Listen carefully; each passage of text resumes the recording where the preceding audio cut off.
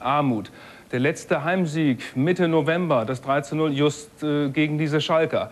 Und die Saarbrücker fahren ganz gerne auf den Betzenberg, denn das ist äh, ein Nachbarschaftsduell. Außerdem sind sie in der Rückrunde bisher ungeschlagen und sie erinnern sich besonders gern an das Hinspiel. Da haben sie die Lauterer 2 zu 0 besiegt und Erik Vinalda, er schoss beide Treffer und löste an diesem Tag, spätestens an diesem Tag, Oskar Lafontaine, nämlich als Sunnyboy des Saarlandes ab.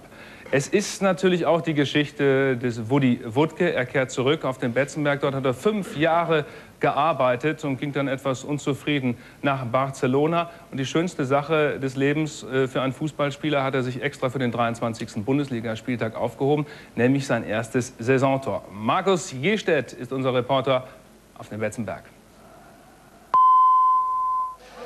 Das ist das Sünderbänkchen, auf das die Lauterer Wolfram Wuttke im November 89 schickten, nach all seinen Eskapaden.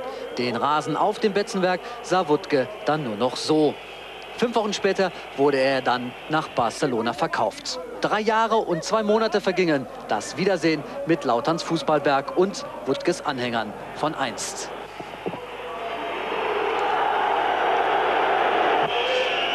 Zuneigung ist halt auch im Fußball vergänglich. Übrigens Wuttke heute Kapitän für den plötzlich erkrankten Libero Kostner. Wuttke wird am Dienstag einen neuen Einjahresvertrag in Saarbrücken unterschreiben.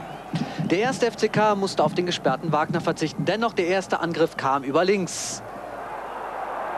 Wittecek und abschließend tut Jan Eriksson. Drei Minuten vorüber. Saarbrücken hatte in der ersten Viertelstunde kaum Zeit, um Luft zu holen. Lautern mit Wille und Einsatz. Bjerne Goldbeck, der fleißige Eriksson, Wittecek und wieder Jan Eriksson. Der Schwede sollte sich ansonsten um Wolfram Wuttke kümmern. Apropos Wuttke. Er probierte sich zunächst an der hohen Kunst des Fußballspielens. Allerdings vergebens. Saarbrücken abwartend auf Fehler von dem ersten FCK lauernd. Und die kamen. Hier Duli und Wood.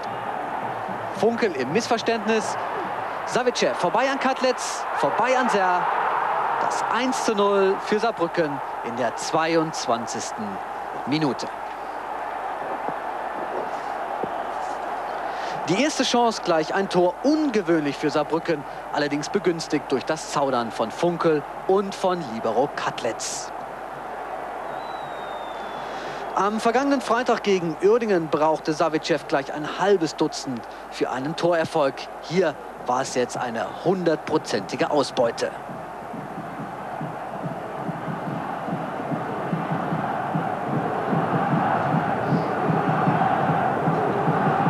Torschütze und sein Kapitän. Rainer Zobel hatte versucht, den Druck des unbedingt gewinnen müssens von der Mannschaft zu nehmen, doch nun trat das Gegenteil ein. Richter verliert den Ball gegen den starken Zechel. Juri Savicev. Gegenspieler Wolfgang Funkel in argen Nöten. Und Saarbrücken kam weiter. Christel, Henning Bürger.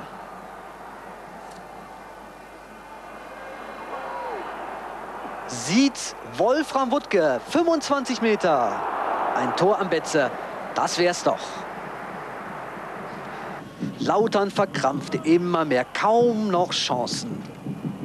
Ivo Katlitz und Marcel Wittecek, die große Ausnahme. Torwart Brasas. Den Ball nicht ganz getroffen, wir sehen es in der Zeitlupe. Lediglich ein paar Sandkörner finden den Weg ins Tor. 0 zu 1, Pause. Einem hat Spaß gemacht. Schiedsrichter Hans-Peter Delving. Zweite Halbzeit typisch diese Szene aus der 60. Minute.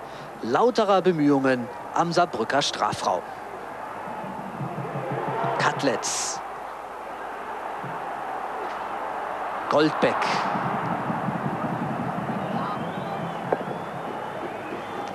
Dann musste das Denkmal gehen. Stefan Kunz ausgetauscht gegen Markus Marin. Mutig, aber richtig der Wechsel. Thomas Christel und Bjarne Goldbeck, das Derby, erhielt nun seine kämpferische Note. Der ausgezeichnete Hans-Peter Delving beließ es bei mahnenden Worten. Statt Fingerspitzengefühl, Mundgefühl. Kaiserslautern jetzt nur noch durch Freistöße gefährlich. Vogel. Und Jan Eriksson. Torwart Brasas. Der schwedische Nationalspieler mit seiner dritten Chance zum dritten Mal vergeben. Die 74. Minute. Der Kapitän geht vom Bord. Wutke erschöpft. Michael Kretzer kam für ihn. Zwei Minuten später, erste Zobel-Rausrufe wurden laut. Eriksson, Richter, Marcel Witticek und Bjarne Goldbeck. Der Ball ist im Tor. Jubel auf der einen, heftige Proteste auf der anderen Seite. Denn der Linienrichter hatte die Fahne gehoben. Diskussionen.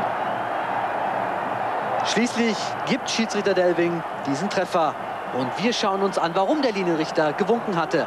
Marcel Wittigsteck stand im Abseits. Er greift zwar nicht ins Spiel ein, doch er behindert Torwart Brasas. Schiedsrichter Delving saß allerdings anders.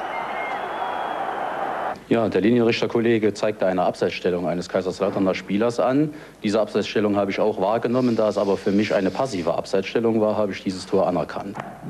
Erst jetzt feiteten die Roten Teufel. Eckball Goldbeck.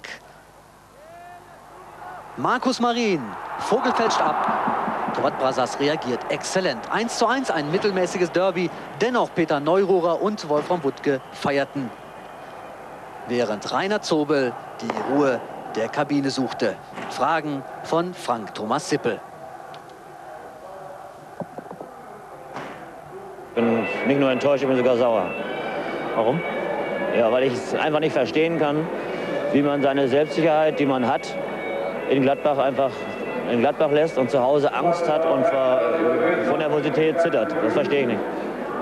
Am Stande vom 0 zu 1 waren ja sogar Aufhören und Zobel rausrufe. Tut das weh? Ja, das tut natürlich weh. Ich bin hier nicht hergekommen, um äh, letztendlich hier, äh, mich hier auffordern zu lassen, wieder wegzugehen. Das ist natürlich klar. Aber äh, die Zuschauer haben recht, wenn sie äh, so eine Leistung in der ersten Halbzeit sehen und letztendlich äh, mich dafür verantwortlich machen.